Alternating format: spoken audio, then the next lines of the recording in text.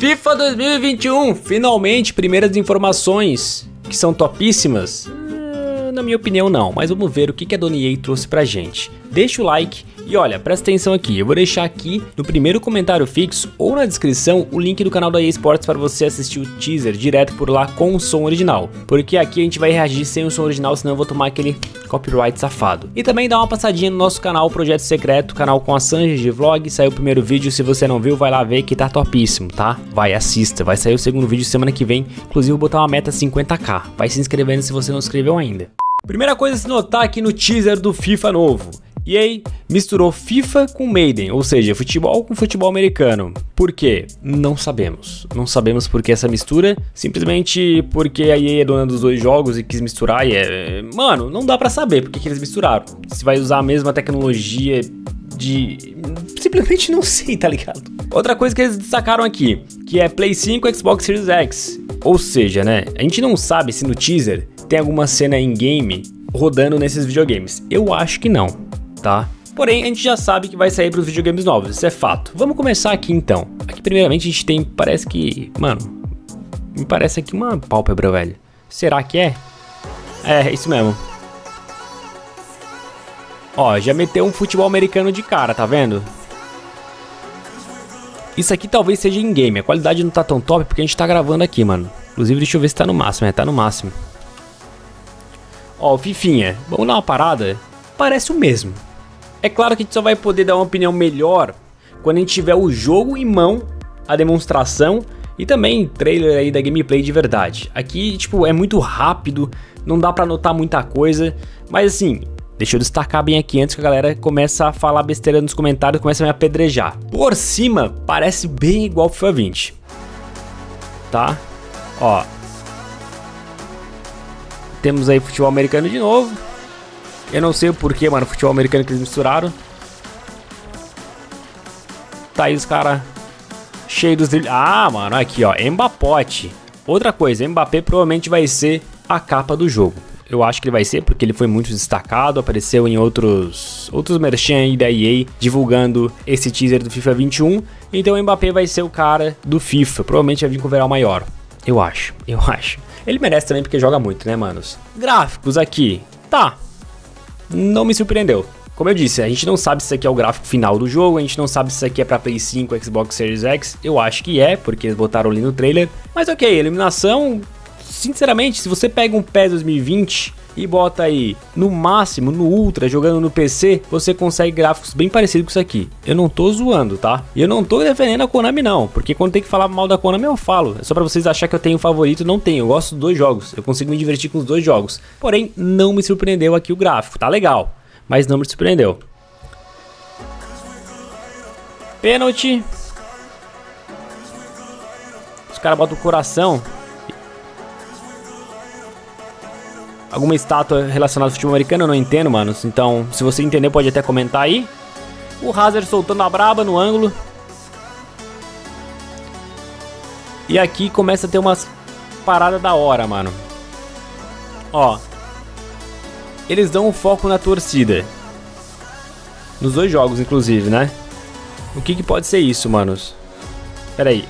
É, pensei que ia aparecer mais torcida, mas não. Talvez a gente tenha uma ambientação maior uma imersão maior aí da torcida, talvez uma algumas cenas antes dos jogos passando perto do estádio, não sei, não sei, talvez dentro do modo carreira tenha alguma novidade relacionada a isso, esperamos que sim, a gente quer novidade aí. É isso, mano. Mas não dá pra falar muita coisa, porque é tudo muito rápido, como eu disse pra vocês, mano. Sangue. Tom Brady, o mito. Impacto. Ó, novamente, vocês viram ali que tinha um ônibus chegando perto do estádio, mano?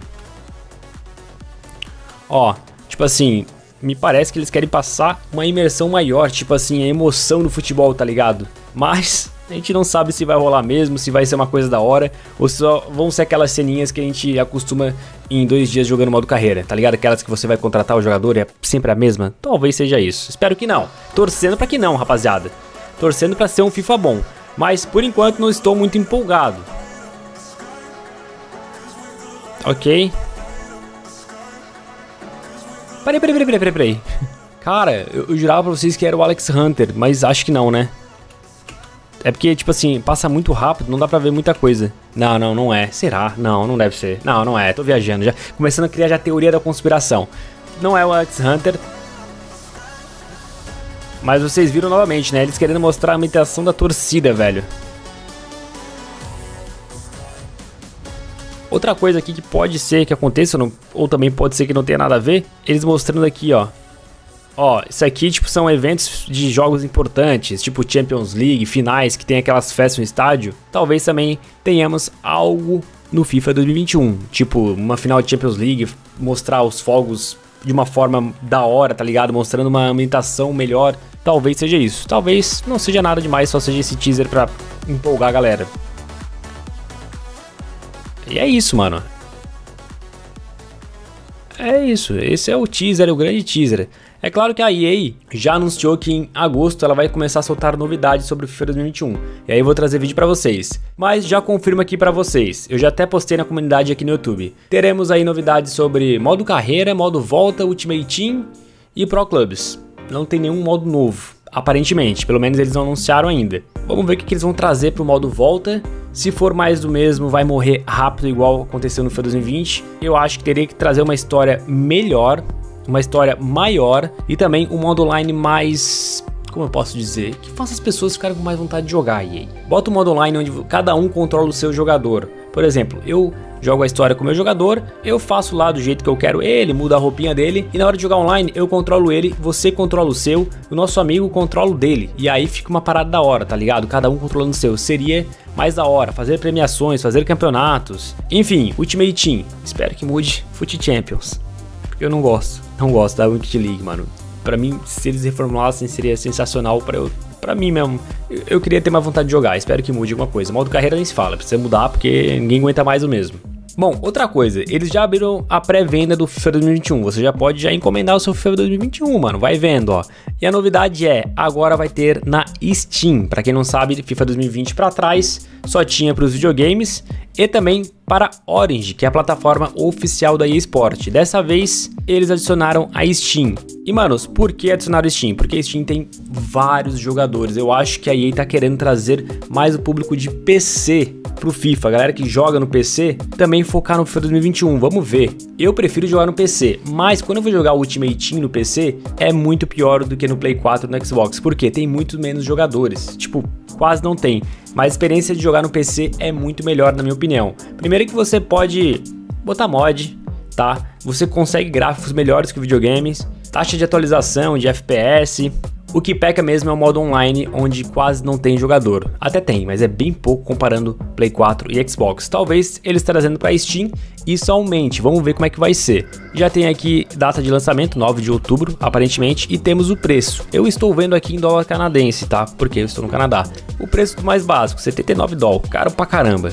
O segundo, 99 dólares. E o terceiro, 129 dólares. Mas no Brasil, se eu não me engano, começa com 299 e termina com 499 caro para um caramba. Aqui eles já lançaram mais ou menos o que cada edição vai trazer, não temos muita novidade e pasmem.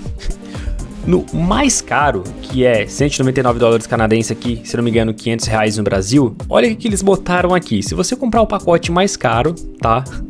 Você ganha um jogador da base no modo carreira que como se fosse uma grande revelação mundial. É sério que eles botaram isso. Ou seja, você compra o mais caro, um dos benefícios é esse. Sem comentários, sem comentários.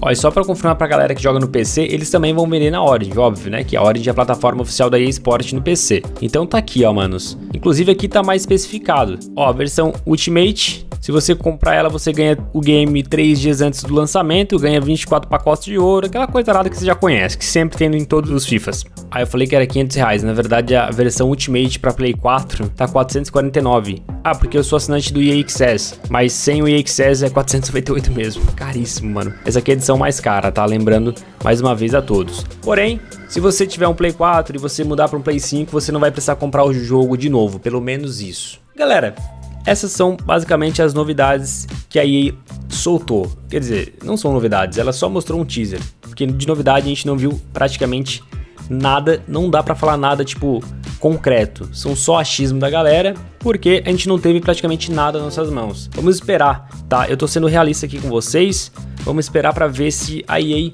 vai lançar mais coisas aí, mais trailers e aí a gente pode ter algo mais concreto. Por enquanto, eles estão hypando, mostraram um trailer muito legal, muito bonito o trailer, mas não temos nada de novidade, não dá para saber nada. E é aquela coisa, mano, eu espero sim, eu espero que aí melhore, porque é um jogo caro, um jogo que lança todo ano, a gente vai lá e compra.